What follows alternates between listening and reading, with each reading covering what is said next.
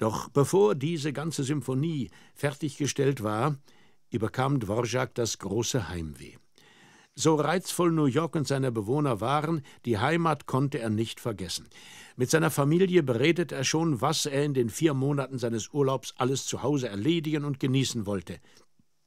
Da überraschte ihn sein Schüler Josef Kowarek mit einer Einladung besonderer Art. Herr Dvorak, ich weiß, wie sehr Sie sich auf Ihren Urlaub in der Tschechoslowakei freuen.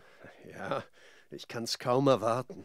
Ich hab's auch den Abgesandten aus Billwill gesagt, dass es zwecklos ist, Sie von Ihrem Plan abzubringen. Aber die Leute glauben mir nicht und wollen es von Ihnen selbst hören. Was glauben Sie nicht? Und wer sind diese Leute? Sie kommen aus Billwill, einer kleinen Stadt im mittleren Teil der USA. Ist das nicht oben am Mississippi? Ich habe den Namen schon irgendwann gehört. Genau. Und Sie kennen den Ort vielleicht auch deswegen, weil in ihm nur Tschechen wohnen. Landsleute, die vor einigen Jahren hierher ausgewandert sind. Ja, was wollen die Leute von mir? Sie bitten Sie, Ihren Urlaub in Spillwell zu verbringen. In der ganzen Umgebung sieht es aus wie in der Tschechoslowakei. Es gibt viel Wald. Sie können stundenlang durch Felder wandern und man spricht nur Tschechisch.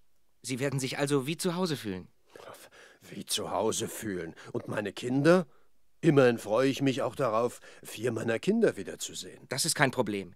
Die Bürger von Spillwill bezahlen auch die Überfahrt ihrer Kinder nach Amerika. Es soll ihnen an nichts fehlen. Das klingt verlockend. Wenn ich es so schön haben könnte wie in der Heimat und meine Kinder um mich herum hätte, ja, das wäre doch was. Hm. Geben Sie den Leuten Bescheid. Ich komme gern und danke jetzt schon für die Gastfreundschaft.